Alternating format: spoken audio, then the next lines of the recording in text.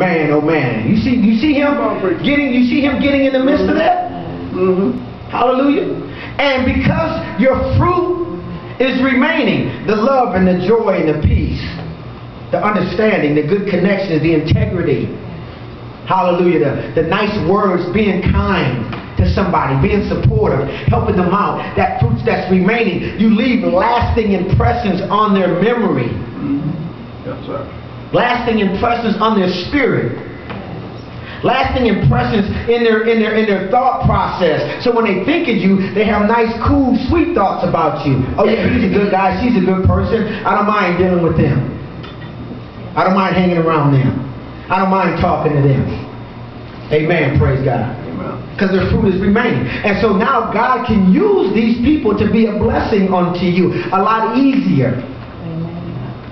Hallelujah. Because they, they, they, they're flowing in goodness already towards you. So they don't, they don't mind giving to you. So all it takes is the Spirit to talk to them and say, hey, release that into so-and-so's hands. Or give them a ride. Or give them a computer.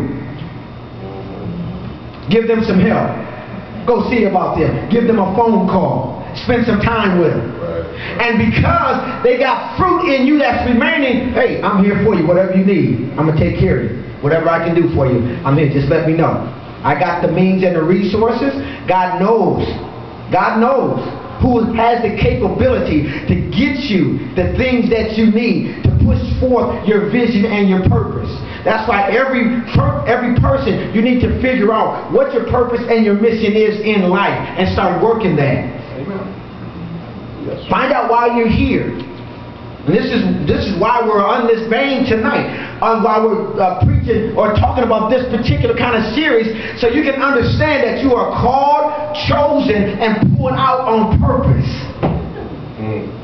That you're called, that you're chosen, and that you've been you've been pulled out of darkness on purpose Hallelujah. on purpose, not happenstance, not by coincidence. Christ pulled you out on purpose. Hallelujah. Hallelujah, glory to God. Pulled you out on purpose. Glory to his name. Glory to his name. Amen. Praise God. And he ordained you. He ordered your life. That shows the fruit that you should go and bring forth fruit. And that your fruit should remain. Hallelujah. Glory to God. Now this now this is very important here when we're when we're talking about this order. Check this out.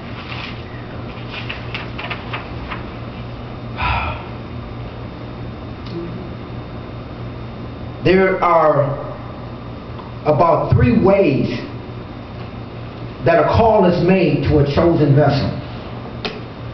Three ways. So you if if you can identify these ways, you start identifying these ways, you will come into a more stronger revelation on how God is dealing with you.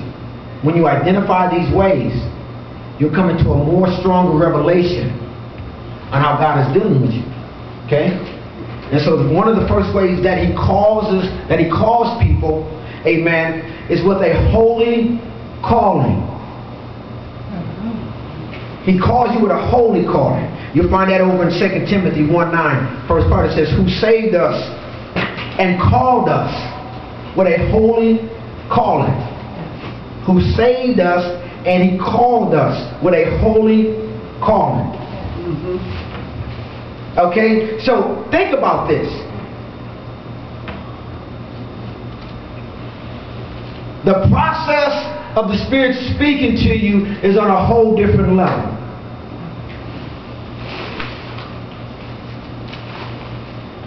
When God is calling you through His Spirit, it's not an ordinary call that you should ignore. It's not a regular call that you would get from a person or a friend or a relative. It's a holy, sanctified, set apart call strategically placed to your spirit on purpose. For a specific reason. He's not dialing you up because he has nothing else to do and everybody else has been called like we do. I don't call everybody up. We just see what who so and so's doing just to see what they're doing. Or what's going on with him. No, no, no. He's calling you specifically for a reason. He's calling you with intention. He has put a target on you. You have been targeted. That's what purpose means.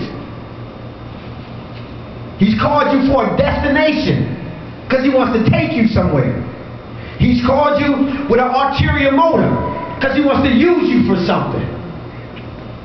He's called you with an idea because he has some things he wants you to do for him. He's called you not according to your works, but according to his purpose has he called you. Yeah, glory to God. He has a plan for you. Hey, hallelujah, glory to God. Hallelujah. Hallelujah. He's called because he got a plan for you. Woo, hallelujah, glory to God. Thank.